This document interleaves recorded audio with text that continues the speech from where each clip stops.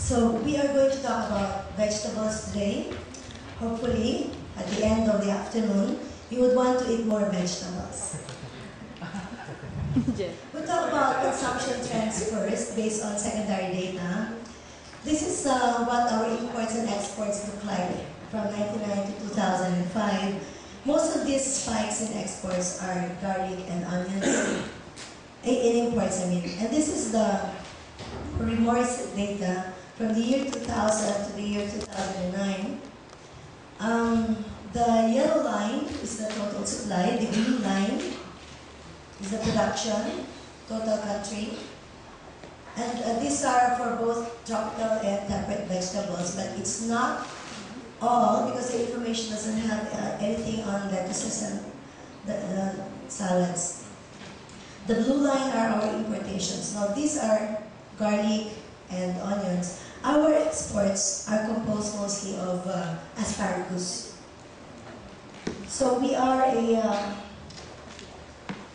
I mean, it's supposed to be an increase in supply, right? But if we look at demand, this is relatively, uh, you know, that's 50 plus per capita per year. And by, by 2003, which is the latest data we can get from FNRI at the moment, it's 40 kilograms per person per year.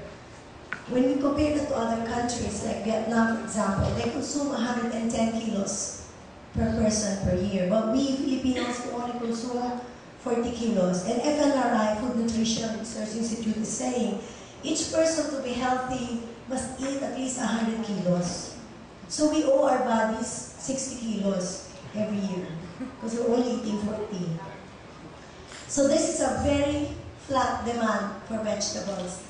From 1990 to the year 2004, it's just uh, at that particular point.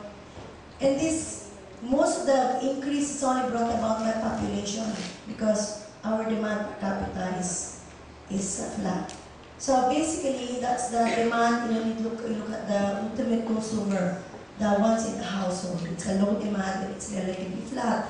So what's the, what's the thing that uh, pushes us to try and work with vegetables as an institution?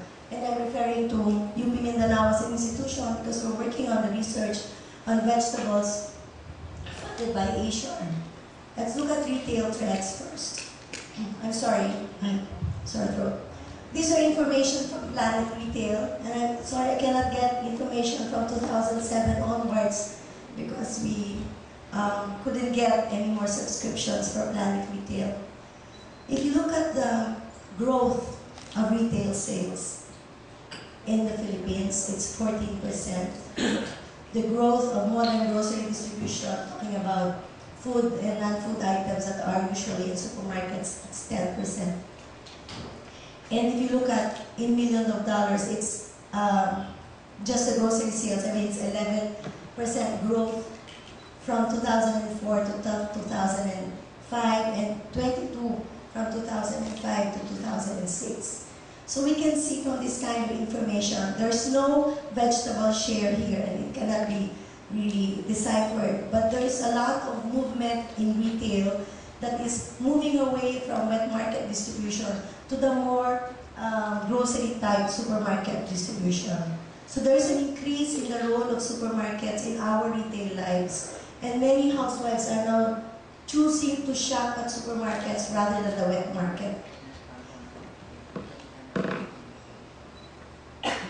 Okay, here, this is the SM group. They have 11.9% share of the market. And you have total 34.5%. This is telling us that supermarkets really are going to be a, play a bigger role in our life. No? In other countries, it's uh, supermarket has replaced the wet market in many of retail.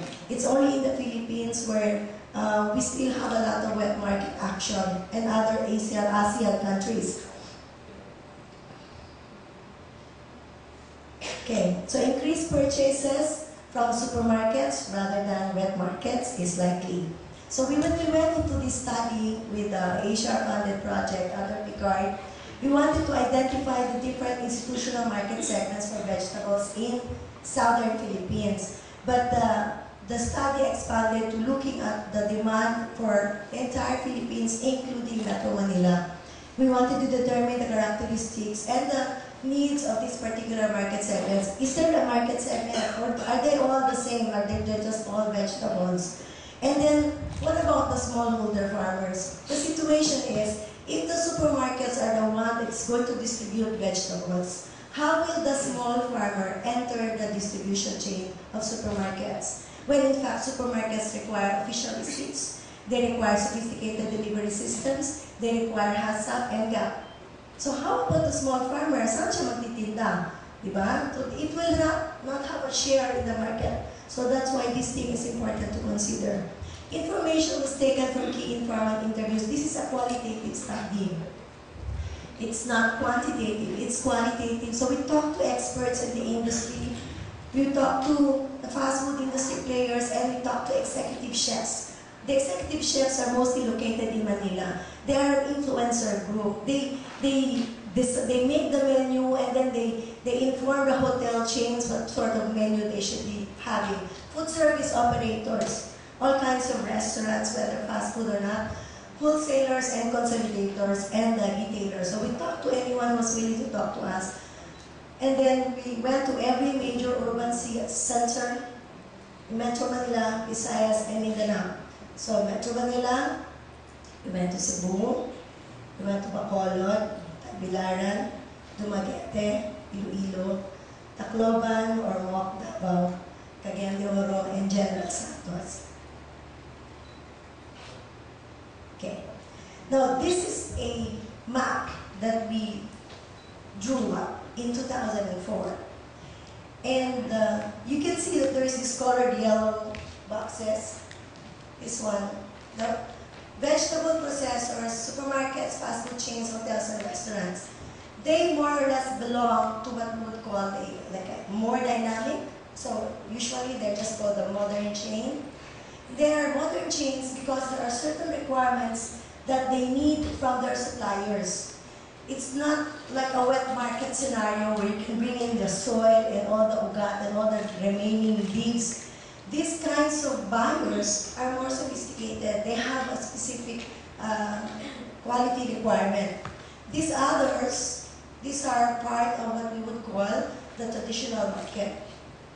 Meaning you have your farmer, and then this is what you, they would call the viajero, the viajador, um, tapos you have wholesalers from the urban wet markets, and then the retailers.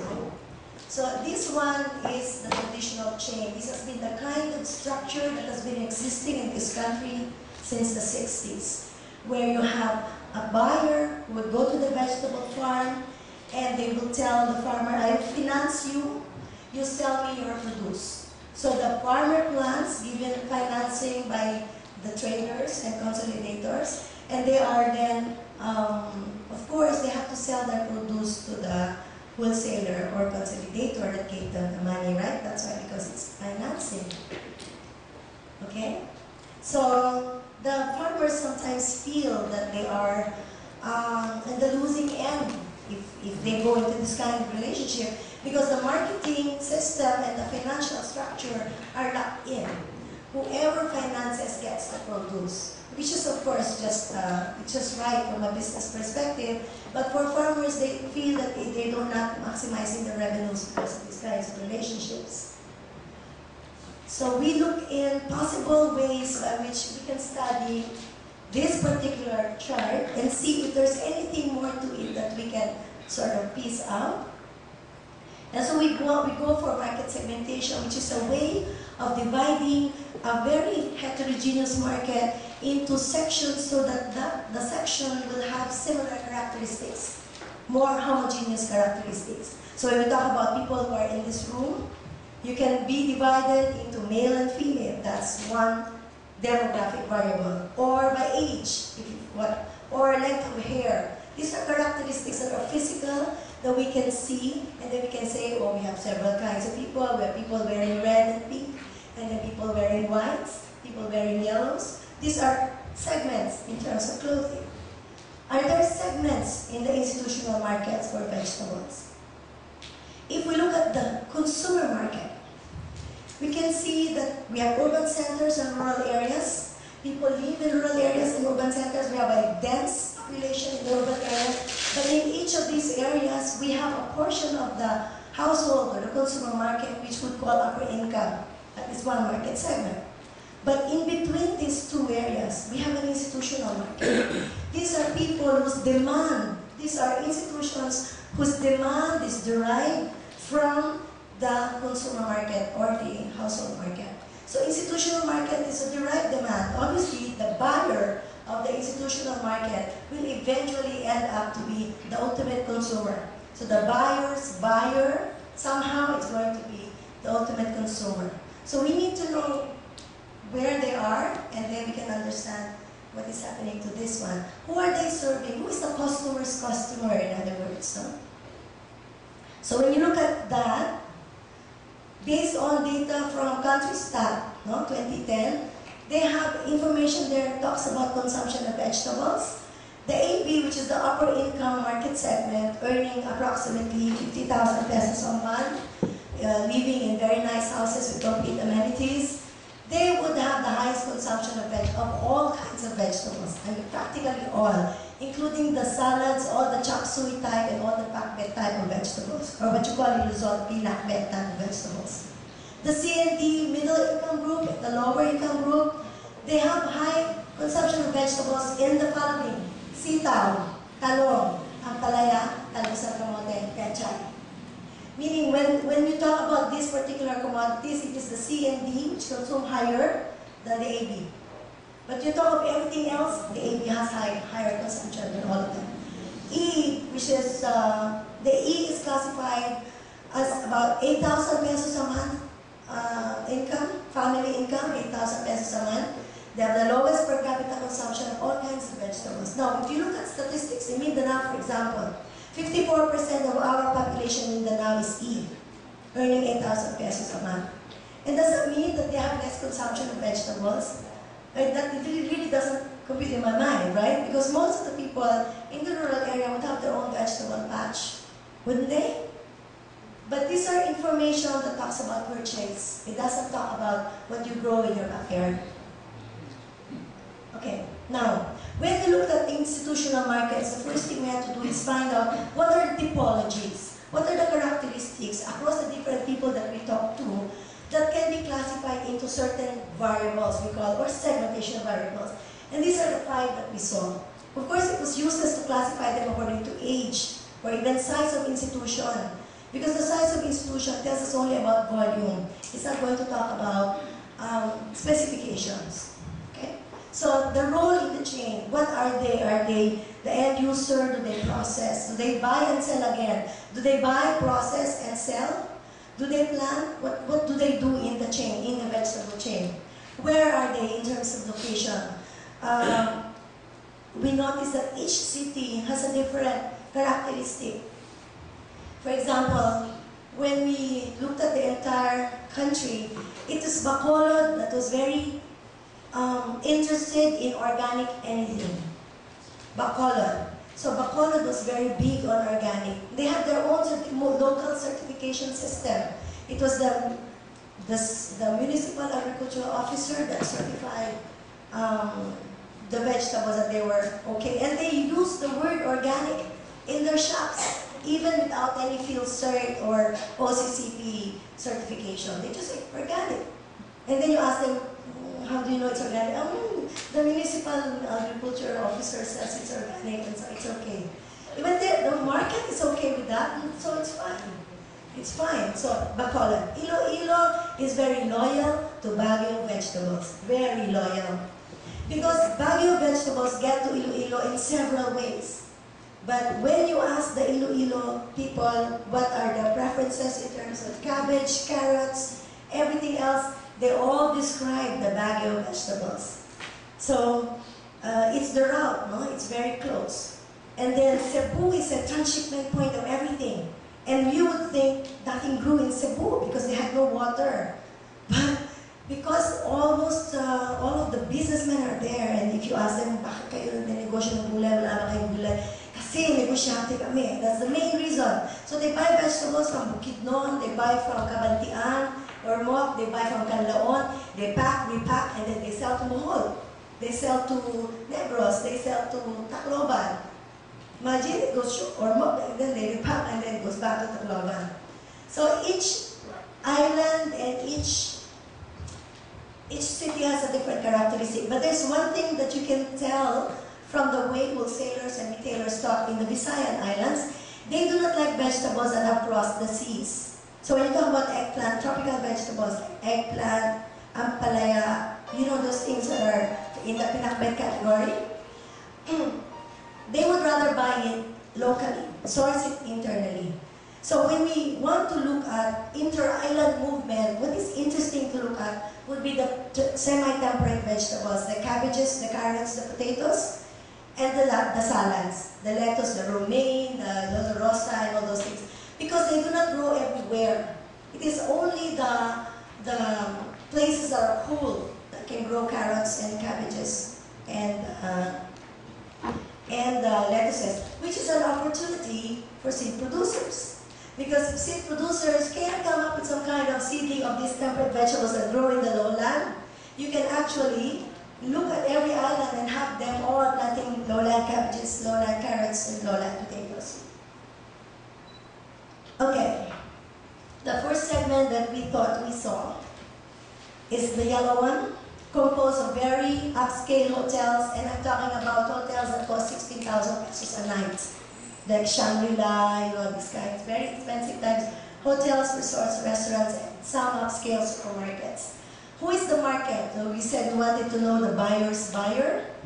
The, the market of this um, are the foreign tourists because they can afford. In Cebu, they're mostly Korean and upper income consumers. Maybe coming from Metro Manila because majority of the upper income in this country resides in Metro Manila. 23% of the, of the people in Metro Manila are upper income, as compared to 0.2% of Mindanao. So this is what one hotel looks like. This is how plush they are. Uh, that's white sand. That's not semento. Puting buhangin yan. At saka ganyan ang itsura ng swimming pool nila. Super social to the max. And then, we call it the plush market. Leisure, leisure, and work in an upscale style. So it's just a name that we came up with. If you have another suggestion for the name, we can, would like to think of, consider that. What are their needs? Ano gusto nilang gulay? Lahat. The widest range of salad, vegetables, chop suey type, pinakbet type, tropical. Because when they serve a buffet, they will give exotic vegetables. Pala okra, maliliit na ampalaya, mga exotic. Eh, tapos may bagoong doon. They have uh, shrimp paste there. So they also have this broccoli and cauliflower and all these different uh, semi-temperate vegetables. And of course, they need a lot of potatoes. They have also a need for specialty carrots, which they cannot get, except from one producer in Cavite. Baby carrots, uh, some special kinds of mushrooms, portobello, shiitake, all these different kinds, leeks. All they have, they want different kinds of leeks and um, I wasn't aware that there were different kinds of leeks. But they also want all the different leaves available for their salad. So all the different colors of lettuces, not just iceberg, not just romaine, but all the different kinds. And when they buy vegetables from whoever is supplying them, they want the vegetables washed, walang lupa, trimmed, wala na, basta hihiwain na lang nila. And if you are supplying them, you have to leave everything behind, you have to bring it with you and throw it. It's not their responsibility to throw it. Because they say they're um, sticking to some HACCP rules. But they're not asking about the chemical content of the vegetables that are supplied to them. Now they want, some of them that we talked to, want onion, garlic, and ginger to be peeled, even the onion. So no more brown part, just the white thing. That means that they want to be able to, they need to be able to use all of that in one day. Ginger also peeled. So that's uh, national market. And then they are the most quality discerning. We're spending a bit of time here because in the segment one because they are like they're set apart from everyone else. They have formal product descriptions. They have their particular size But we cannot give you a generalized size for all of them because each hotel wants a specific size. And then one, one upscale supermarket wants another size. So you can say this is the size that they want. It's dependent on each buyer group. And then they want their suppliers to have a food safety program. So if they're HACCP certified, you must also be HACCP certified. The farmers have to be GAP certified. Some required sources practice sustainable agriculture because they have social accountability in their in their practices, part of the things that they, they signed up to. And then they price they fix prices weekly. Most of them actually fix prices weekly. And they allow prices to be changed uh, twice a week. They, you can call and tell them there's something that went wrong with our cabbages and uh, the supply has come from this area if you're a supplier and, and they will agree to that. But it's a fixed date for many of them. Like some would say every Tuesday and Thursday you can change the price. The others say we fix price Mondays and that's it for the entire week. So the relationship that you build into supplying the upscale plush market would be important because it's when you sum up all the volume, uh, it's a very big volume. Is accounts for 5% of total Metro Manila, Metro Cebu market. So for Metro Manila, it's 586,500 individuals. Or, when you translate it into consumption, 451 tons of vegetables. The very high quality. For Metro Cebu, that's uh, 40,800 or 30 tons of vegetables. Why is it just Metro Manila, Metro Cebu? They are the only two cities in this country that have a high upper income uh, population. All the rest are low. Yeah, well, less than 53%, 10 maybe, like that. They are the market segment that understands the concept of organic and safe vegetables. So when you talk to them about organic vegetables, they know what it means. In many of the other cities, um, it was a very interesting thing because we asked them, some of the households that we talked to, we asked them, uh, do you, do you uh, buy or eat organic vegetables? They say yes. And then, uh, what organic vegetables do you buy or eat? Alubati, tapos na kamote. Oo nga naman, di ba? Hindi naman naman i-spray. So, tama naman sila. What are the implications of this organic awareness of the upper income market? The producers, our farmers, the, whoever can do so, must move towards the production of safe, low-chem, and or organic vegetables. Now, if you ask me about organic five years ago, I would have told you five years ago, hindi tayo nakikialam sa organic. But now, it's different. Um, when we gave a talk to FAO, yeah, five years ago, I told them maybe in three years' time, do you know, organic is already one of the things that many of our consumers and about households would be interested in. But that would be the upper income households, the ones that are more educated, the ones that have higher disposable income, and the ones that are more exposed to other countries' requirements. But the, the even the non-upper income, middle, and lower, they know about organic, but they won't really uh, pay anything more uh, for organic because they'll just get it from their backyard. So they will pay, the upper income is willing to pay 10% more. Hotels will say, if it's certified organic, we'll pay 10% more.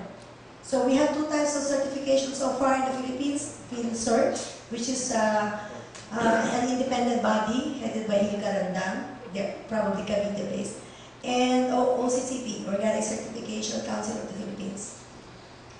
Mga mahal na certification. So producers must be able to grow all kinds of vegetables throughout the year because the demand is constant throughout the year, right? And it's also, when you have all of these tourist people, they come in uh, in the year because our temperature is almost constant.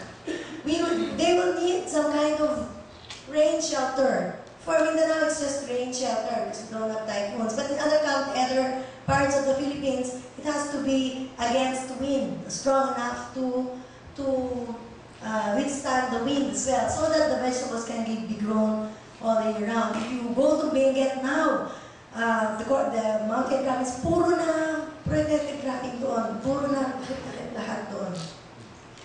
Okay? So for Mindanao, it's an advantage for us because we don't have typhoons and we can grow vegetables throughout the year. We have the opportunity to supply uh, Luzon, by the way. No? And I think we, uh, uh, as of the moment, we supply the tomatoes of Metro Manila from July to November as much as 45% coming from Bukidnon area for Mindanao. So the second segment, we call it segment two, or the business and budget segment. This is composed of business hotels, not anymore the luxurious hotel, main price resorts, and some supermarket chains. No? So the upper income and middle income consumers are also the market for that, budget tourists, and what we call the MICE, the convention market. Meetings, okay, um, conventions, expositions, mga ganun. So, this is one of the many brands that are now visible in the supermarket chain, Nature's Best.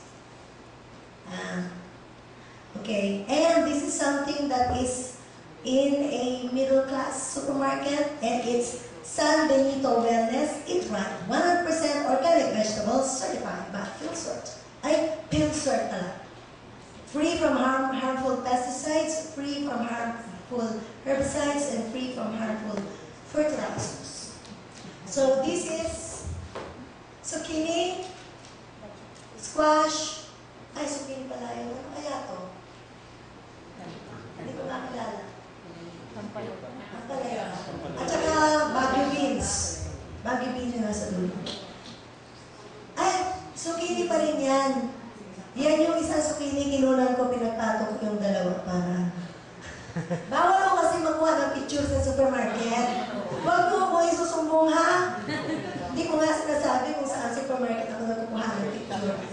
Kaya kung may-ari kayo ng supermarket, nakita nyo ako nagkukuha ng picture, huwag nyo na lang huliin.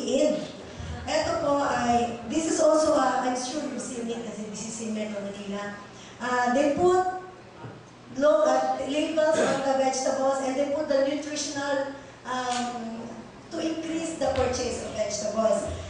What's happening in supermarkets, uh, especially in Metro Manila, it has become the attractant of buyers. So they put the vegetables very early in the display or very behind so that you have to walk all the way from the entrance to the back just to look at the vegetables, just to buy isang supot ng luya, gano'n. Then makikita mo na lahat ng mga sale ng shampoo at saka ng mga ano. Mapapabili ka na, di ba? So it is now an attractive part of supermarkets. Um, in 2000, I, I saw an increase and measured, physically measured an increase of 20% floor space in supermarkets because uh, floor space attributed or given to vegetables. So increase of 20% in the floor space, that is a big deal for supermarkets because supermarkets rent by the square foot. Di? Doon sila kumikita eh, real estate ng supermarket. So in the business and budget market, you, they are more price conscious. Everything is about price. That's why they will buy from anyone. Basta mura. Sometimes the relationship is sacrificed because they're always after price.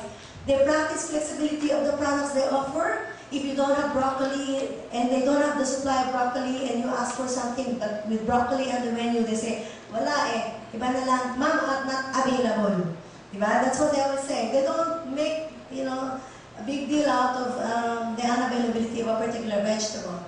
And then, uh, some salad vegetables, but not all. Most, probably, most of the time, they would have tropical vegetables, the pinakbet or the pakbet type, and the chop suey vegetables, the semi-temperate type only. Okay, now you saw this drawing earlier. If we were to summarize segment 1 and segment 2, this is segment 1 and this is segment 2. So segment 1 is a portion of this upscale market of supermarkets in yellow here, which is what we call a plush market.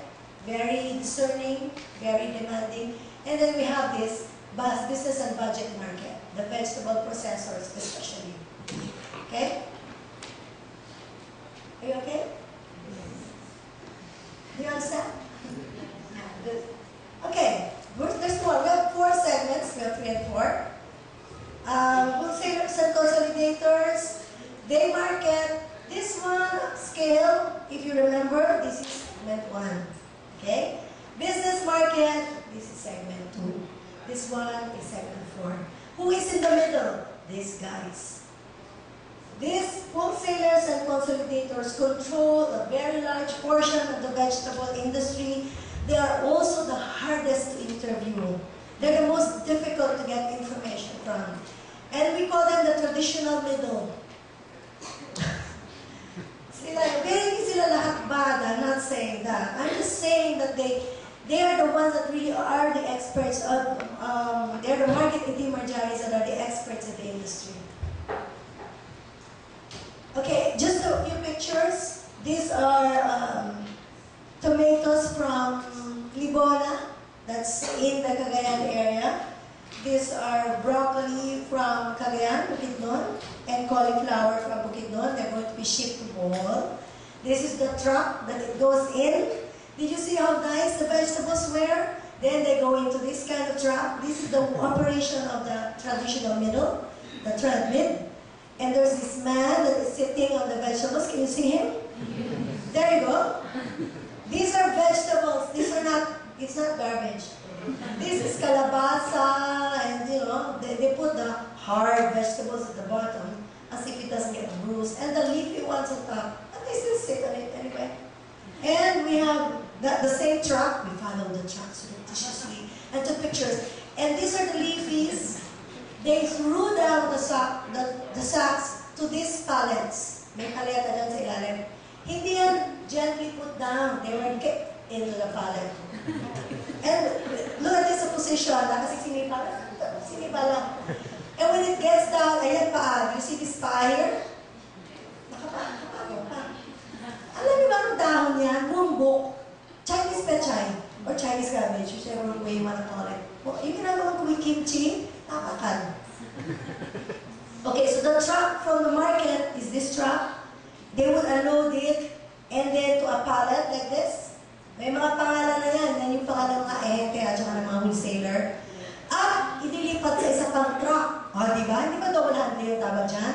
This, because this is um, sa pier, this one is sa pier, yung isang truck, isa palengke sa Agora. Hindi pwedeng yung truck na yung palengke ang pupunta doon sa barko. Kailangan ito kasi hindi siya authorized. Ah, di ba? So, nakapalengke siya, patong-patong, ang ganda, no? And then, punta barko. Papunta siya ng, hindi siya papunta ng Hong Kong, ha? Papunta siya ng Bohol. Papunta siya ng Bohol. Yan. Ngayon, akala ko hindi nila pinapatong ang isang paleta ng gulay. Tapos patungan na isang pang paleta ng gulay. Di ba? Hindi. Pinatong mo. Sa loob ng boat, magkapatong yung paleta, pero isang sako, nakaganyan na. E precarious yung pagkakalagay. Pero tungan yun. E di okay na pisa siya. Kaya pagdating doon, yung nga, ang second nila 30%. You know where this is. La Trinidad Trading Post. As far as you can see, they're all trading vegetables. Okay, in La Trinidad Trading Post, they have a different way of making relationships. These guys here, they're also selling their produce. These guys here, they are not the same guys that are here. These guys here sell from truck to bus, or from truck to jeep, or from truck to truck. If you get in here, that means you don't have a committed buyer yet. Okay? So, now here, these are the only cauliflower in that area during that day. No one was buying it. You'd think, huh, that they would have run for the market because their price was too high. And the buyers are waiting for a few hours. Know, this is spot market trading. This is the traditional market. Is the way it's been done for generations in this country. That's why we don't eat gulay, because of the way it's sold. Huh? So anyway, they're waiting for, I know, kingdom come. And then the buyers will come and haggle the price down. By the time it's afternoon, they would have sold something. These are the guys that are outside the, the La Trinidad Trading Post. They are repacking from point to point. So the people who are repacking, they are the buyers. And they will repack and they will put it into the these 25 kilo plastic bags and then bring them to Divisoria. That looking like this. Carrots and sayote, potatoes, and the leafies on top. Usually if it's in a box, they would be the cauliflower, the broccoli, and the, the other leafies. There, one on top of the other. So we really have to have very durable vegetables. of this kind of post-harvest handling. So, the trad middle, the trad middle, what, what do they want? They want all kinds of vegetables, everything. Because they sell to segment 1, segment 2, and segment 4. They are the middle, so they buy everything, everything goes to them. And they account for the largest volume of vegetables traded in the wholesale market, of course. Now, the strategy is they use the better quality vegetables to give to segment 1, and the not so good ones to give to the other segments. So they have multiple sources, they buy direct from farmers, they buy from other wholesalers, they buy from tomatoes, they buy from Ilocos, Baguio, and Cagayan de Oro. They have the capacity to import if needed. Sometimes when you look at the supermarkets, uh, there are carrots there that I am sure are not our carrots. They are not from this country. They belong to another country and they are being sold in SM. Okay, these are tomatoes in Iloilo. Ganyan kadami. By the crates. Now, this is another review.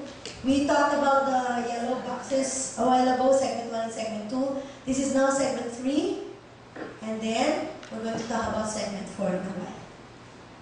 There. Who do they sell to? To us. Tayo.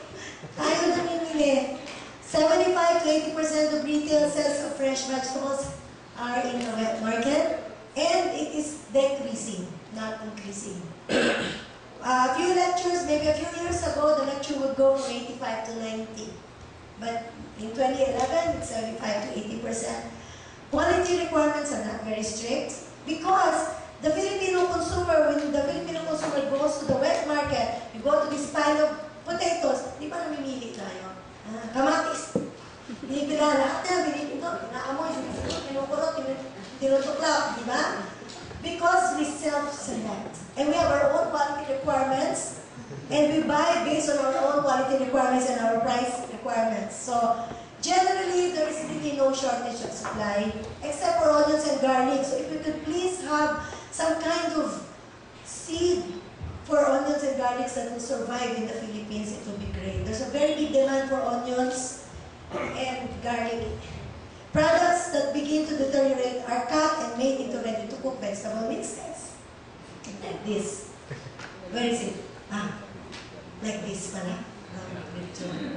Yeah. So they during the time that we took this picture, they all sold for the same price, 10 pesos.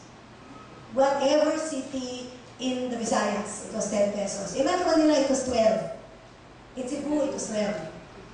But anywhere, it's, it's 10 pesos. And there was even one enterprise, this is Tacloban based, this person. Meron siyang, ano ba yung tawag dyan? Parang lore, some kind of lore, some kind of seasoning, na andun yung gulay, ilalagay niya na yung lore doon, tapos sinusukat niya. Nasa palengke yan. Palengke ng Tacloban. Tacloban kasi doesn't have a very good vegetable industry yet. The mayor, of course, is working on it, no? And they're they're following the lead of uh, Ormoc, which is going into some kind of organic agriculture. Okay? Now, the retail levels, anywhere, they look the same. Diba? You, you, it can be from any city. This one is from Ormoc, this one is from Bacolod, this one is from Iloilo, Tacloban. Kahit saan may tulong na alin. Diba? Talaga, tulong malay natin. Ang difference lang, it's very obvious that in cities like Tacloban, um, yeah, I think it's, Tacloban is the worst supply situation. They have very little vegetables to go with, but they also have very little demand. They, they don't really eat too much vegetables. If you look at the consumption ratio for Visayas for vegetables, it's smaller than Luzon and Mindanao. Like Cebu, if you are from Cebu, you know that everything that you eat is sinasawsaw sa suka. And, you know, di ba? So it's isda and suka. And there's very little gulay. Ang gulay doon, buso. At saka lato. In, oh. Okay? Now, and we have a few more slides and then we're ending. We, what, what do we do now with this kind of situation? What about our small farmers? 80% of the farmers in the Philippines are poor and they are mostly vegetable farmers. And most farmers plant vegetables because it's supposed to be a cash crop. We encourage our farmers to plant gulay because it only takes three months and then they have money. But to whom do they sell it? Which market? what is the implication for them? Siyempre, you are a smallholder group, uh, you need facilitation, you need assistance. Hindi pwedeng ikaw lang may isip mo ito lahat. And they have an educational level of 2 to 3 years. Di ba? Parang, many of them don't even keep records. They don't, you know, estimate how much chicken dung they put in, how many hours they bore. Their costing is non-existent. They don't know their cost. They just say, lugi ako. How do you know you're lugi? How much did it cost you to produce? Hindi nila alam. Pero ngayon, nag-iba yung scenario, no? They need to be facilitated. That's why they need a CMG, a collective marketing group. They have to work together. Many small farmers working together will create an impact. They will have enough volume to be able to supply one retailer. They can go to that particular retailer, but they have to have enough supply within them. That means that they have to have staggered planting. That means that they have to have production planning. That means that they have to meet every week or every month, and they have to agree as a group. So we call this the clustering method. Then also there's a need for market development for specific market niches that can help expand the market for small producers for the products, but it has to be coordinated. There's always a possibility of appealing to the social responsibility of a big retailer, for example, like SM Shopwise Rustan's, to tell them to buy a portion of their produce, vegetables from smallholder farmers and not require a receipt. They always require a receipt. Diba? There was one supermarket in Davao that tried it. And they were not requiring a receipt from this uh, farmer group that was being facilitated. But eventually, the farmer group decided to stay, get out of the relationship. For what reason? Because the supermarket chain thinking that because they were not required receipts, wanted a price that was really rock bottom for the farmers. And so the farmers opted out. But um, things have changed since then. That was in 2005, and now it's 2011. The same supermarket has a change of heart. The, so the farmers are now selling directly to them again. Legal identities and documents are required. Kailangan meron silang BIR, yung mga ganun. And small farmers do not want to organize into cooperatives anymore. They've been burned by the word cooperative. Kooperatiba. Parang ayaw na nila yon. Parang feeling nila, pag nag-contribute sila, itatakbo ng leader yung pera. Ganon, no? So, ngayon, mas maganda pagka sila ay tinatawag na cluster. 5 to 15 farmers, isang cluster. Tapos, when they're mature enough, they can register as an association sa DOLE. No? Association, which is cheaper. Um, hindi kailangan ng seminar and all that. Then, the, the farmers need to learn to commit to the market. If they promise the market, we will supply you with 200 kilos of cabbage every week, every Thursday, they, they must do so. They must supply. And if they cannot supply because of typhoon, or, they must text the buyer and tell them, Ay, yung bagyo kahapon, nasira lahat ng aming cabbage, hindi kami makakabigay sa iyo ngayon. I'm sure buyer will understand, di ba? Okay uh, acknowledgement. I thank my the funding agency, Curtin, and uh, other partners last week. And because Thank you.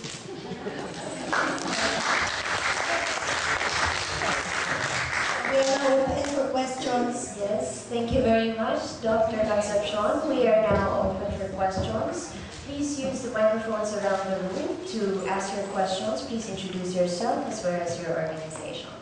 Any questions for Dr. Concepcion? Questions or comments for Dr. Concepcion? I am married. My husband is over there. yes, sir. What is the present uh, post-harvest losses for vegetables in general? In general, for leafies, it's 70. At the retail end, the 30% is immediately deducted from the share of the farmers. We're talking about the leafy vegetables, no? automatically. So when you deliver 100 kilos, automatically 70 na lang babayaran sa farmer. And then as it goes through the chain, by the time it's at the retail end, they would have the, the shrinkage would have been that 70%, which is too big and it's too inefficient. And this is only for one study. But the others are, are less than that. For example, in one of the later chains that we're trying to facilitate where the farmer harvests one day, the next day it's in the supermarket. And the supermarket is the one that is repacking it. They have less shrinkage. We haven't, uh, really calculated that we intend to do that. So they don't have Reseco, it's called Reseco. We're trying not to get the 30% Reseco from the farmers anymore. Any more questions? Again, please use the microphones around the room and introduce yourself. Yes. Yes.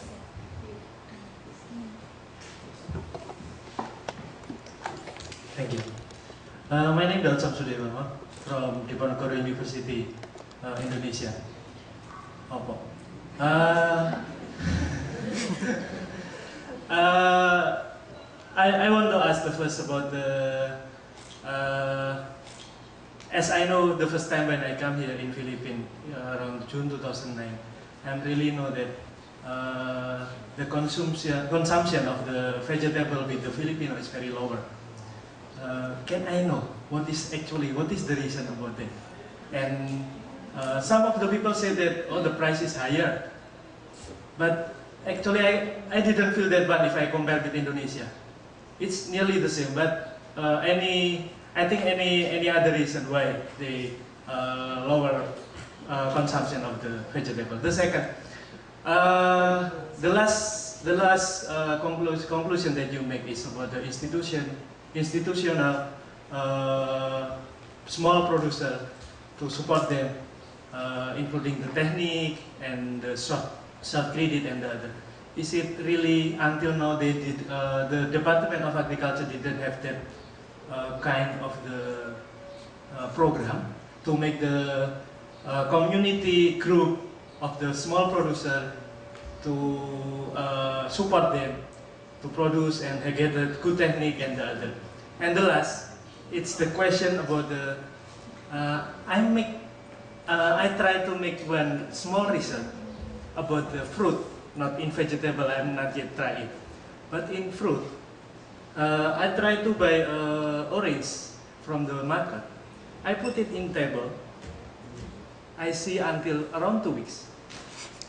Never spoil. Yes. Uh, is it uh, happen to in the vegetables? Because if we if we see uh, in one day the vegetable cannot sell, so it will be spoiled. So did you know what did they have they do with this vegetable that cannot sold? Thank you. Okay. Just watch out, make sure the vegetable doesn't crawl out of the table. If it does, you shouldn't eat it. okay, the first question has got to do with why um, consumers in the Philippines eat less vegetables than other ASEAN countries. When we did a study in 2004, uh, we asked the consumers why they do not eat vegetables. Most of the reasons were that I do not like the taste. One. Second, we don't know how to prepare. Too much time to prepare. And third, they don't force me. Imagine the parents do not force the children to eat vegetables. Why? Because the parents do not eat vegetables. I mean, you look at the carinderia that we have. How many vegetable dishes are there? One. Tapos, uh, adobong sitaw, diba? Uh, adobong kangkong, tapos pakbet. Pakbet lang ang lagi na doon. Tapos wala na. Ano pa ang iba doon?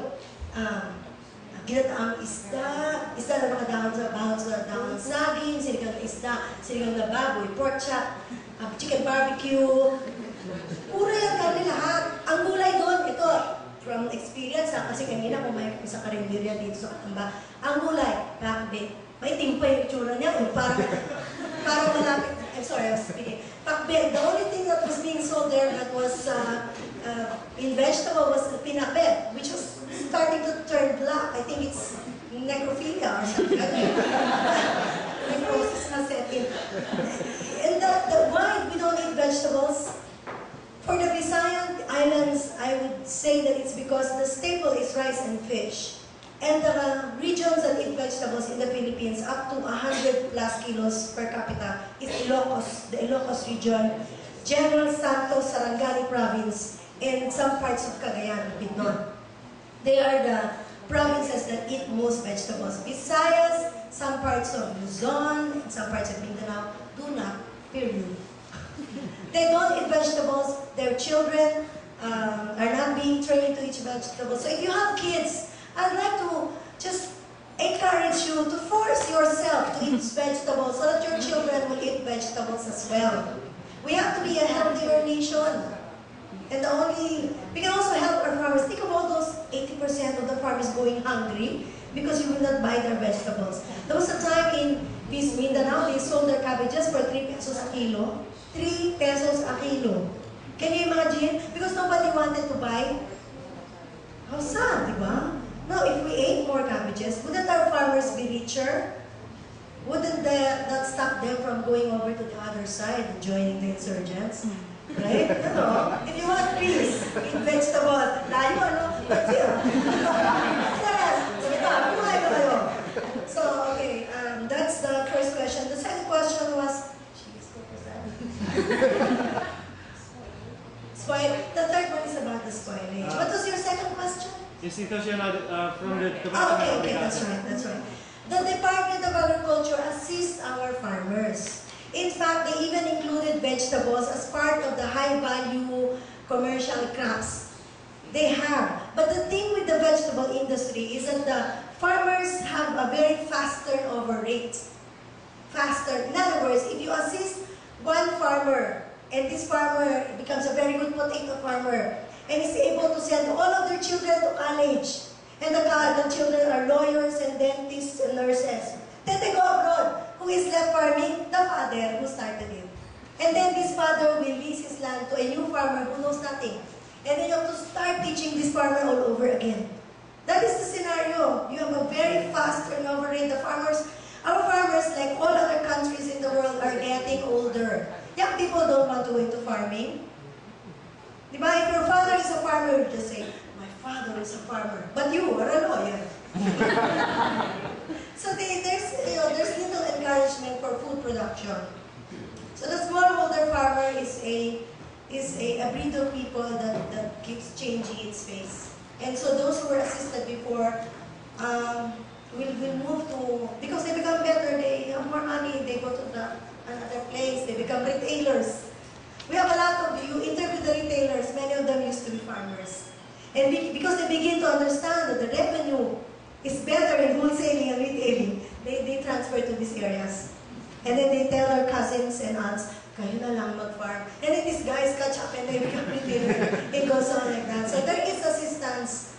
But um, I really have no answers as to how do you encourage children to become farmers. It's the same way how they encourage children to eat vegetables. right? Parenting. The third question is about the orange. Ah, I think they might be from China. you know. I mean,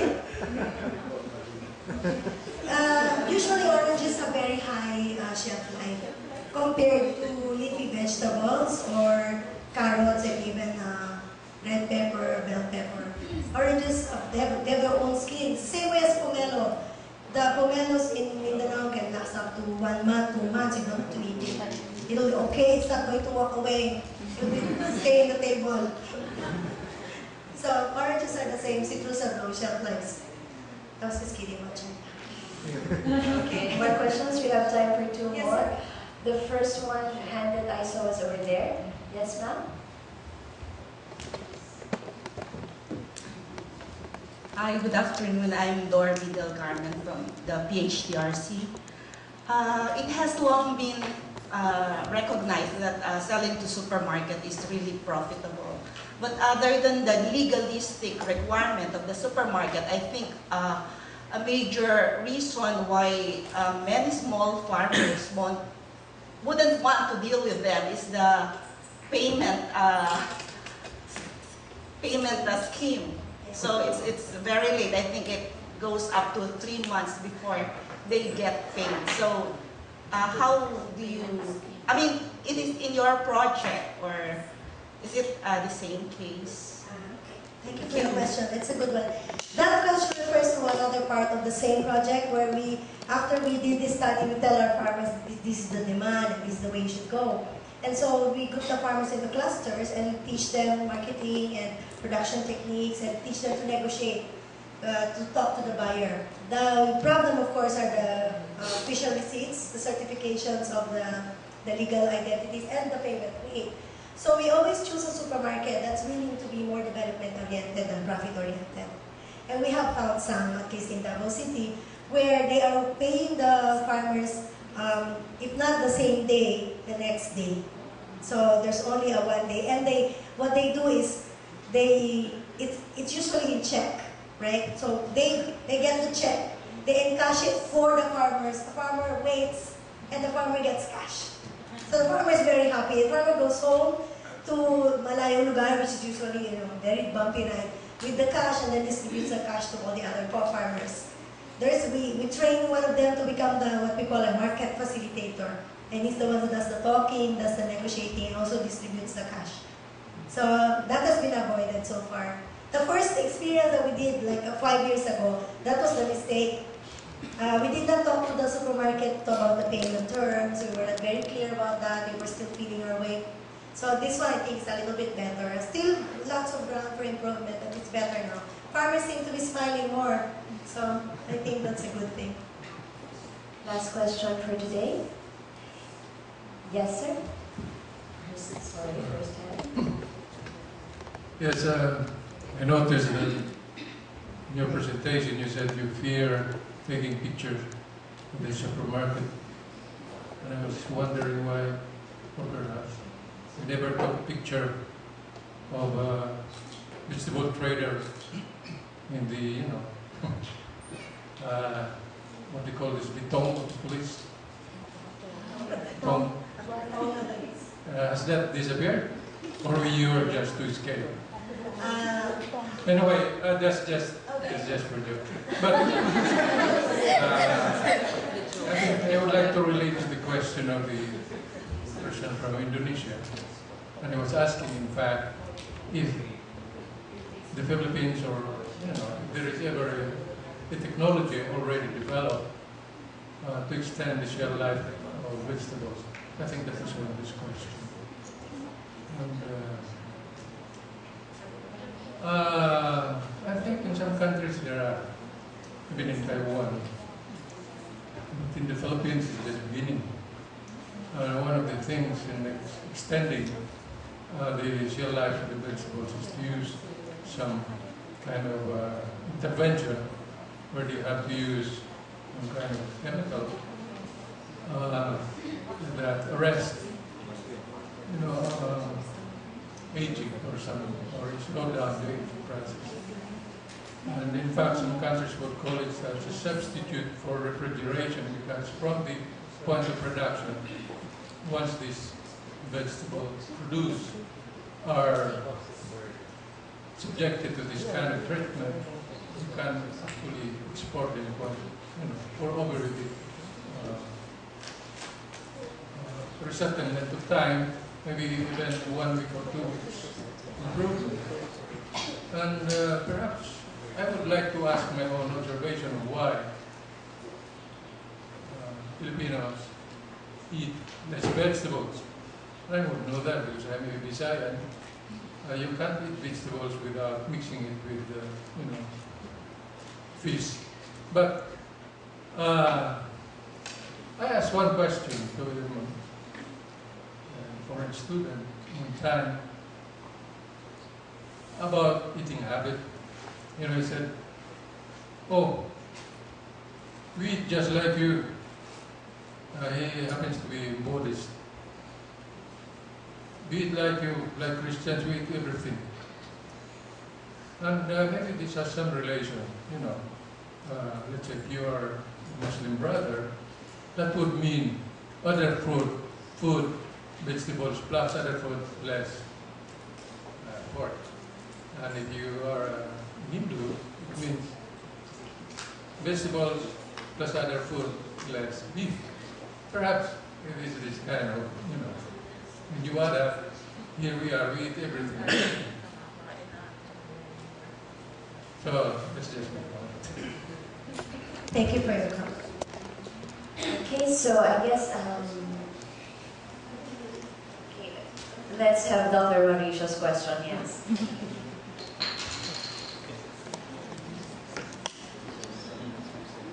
Uh, Thank you. Thank you, ma'am, for that very interesting discussion.